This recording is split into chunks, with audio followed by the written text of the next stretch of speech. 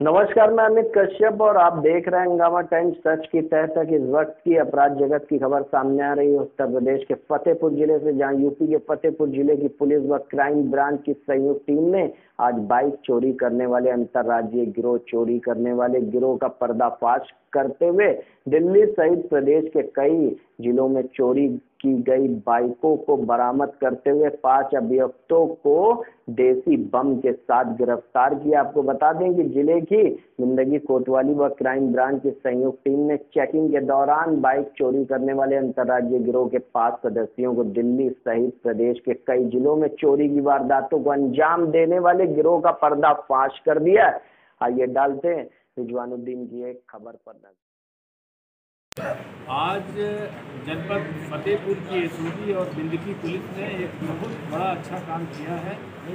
और बाइक चोर, मोटरसाइकिल चोरों के और इनसे बीस चोरी बाइक जिसमें से तीन कानपुर के एक दिल्ली और एक कोतवाली फतेहपुर की ट्रेस बना हुई है। शेष गाड़ियों को भी हम जल्दी ही ट्रेस कर लेंगे, उनके चेसिस इंजन नंबर से। इसमें लल्लू, सोनकर और धर्मवीर शातिर अपराधी हैं।